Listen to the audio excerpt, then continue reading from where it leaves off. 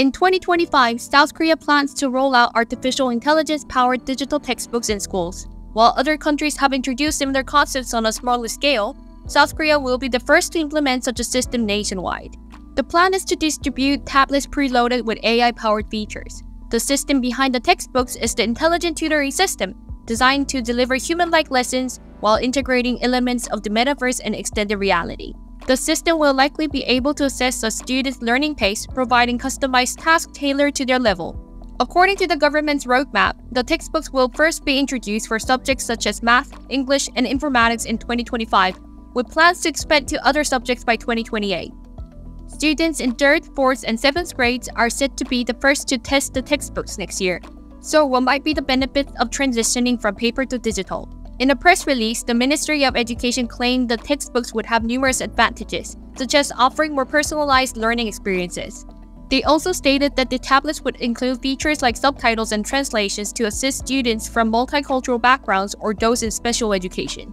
Although the plan sounds promising, the government has shared limited information about how exactly the textbooks will be used in classrooms. Despite growing interest, the final version of the digital textbook is not yet available, even for teachers.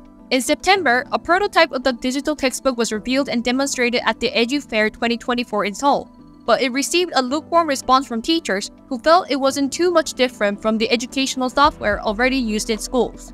Many teachers are concerned about the effectiveness of AI-powered tablets in the classroom. In a survey of teachers who had participated in digital textbook training more than once, 94% expressed opposition to the rollout of digital textbooks. A teacher from Gyeonggi province told 4i Mag that he was worried students' attention spans would deteriorate as classrooms transitioned from paperbacks to tablet-based digital copies.